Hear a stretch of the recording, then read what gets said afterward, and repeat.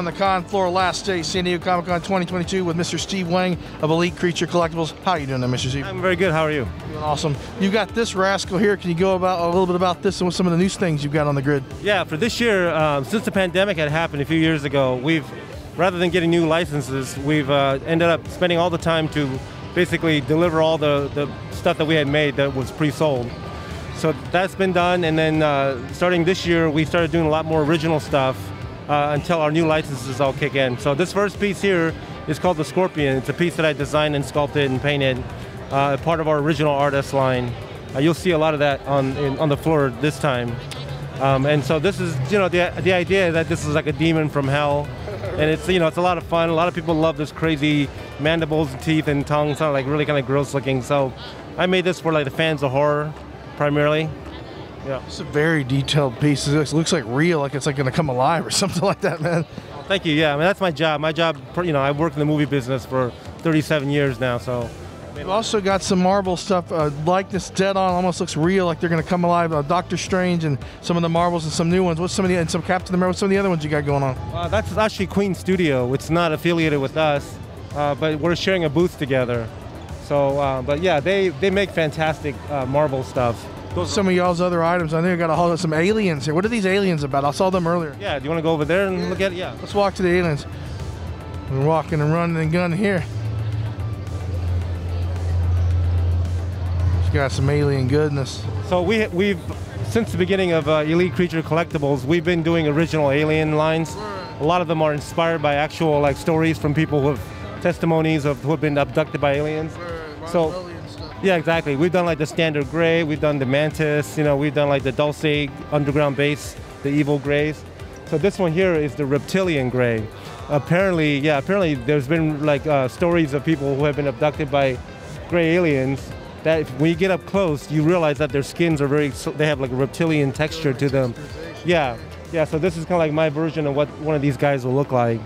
Um, and uh, yeah, and it, See what you got. See what you got.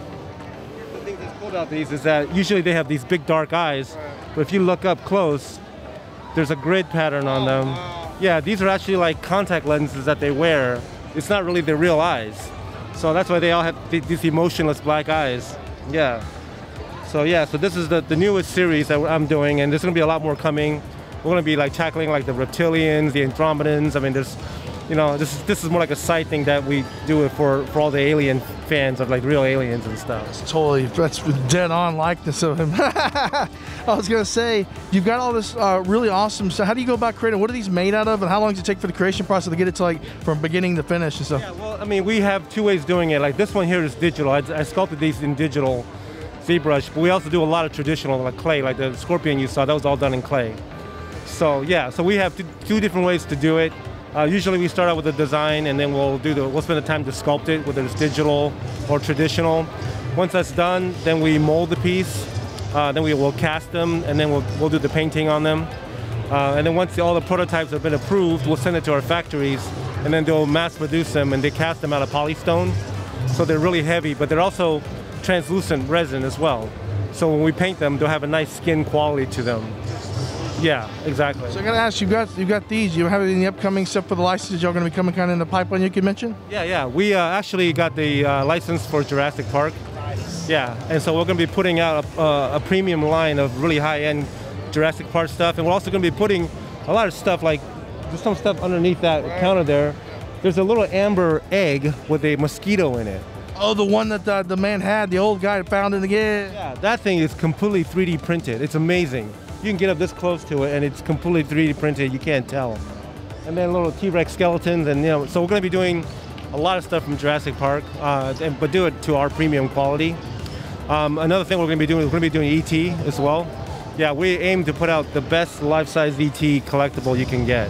So that's that's one thing we're going to be doing, uh, along with my cats. Um, and then we also got Hellboy, and Hellboy 2. Yeah, we're gonna do Hellboy. We're gonna do Abe Sapien. There's not a whole lot of Abe Sapiens there's out there, and there's no life-size Abe, Abe Sapien bust out there. So we're working on that right now.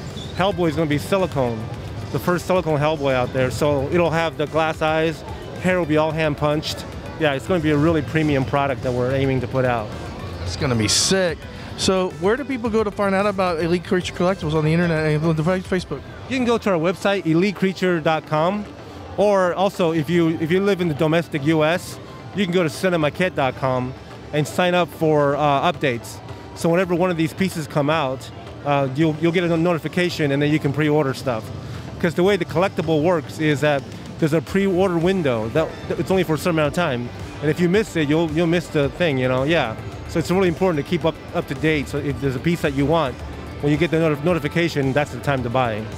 Awesome, Mr. Steve. Thank you so much for talking. So, Owen with SciFiction coming to you from San Diego Comic Con 2022. Signing off.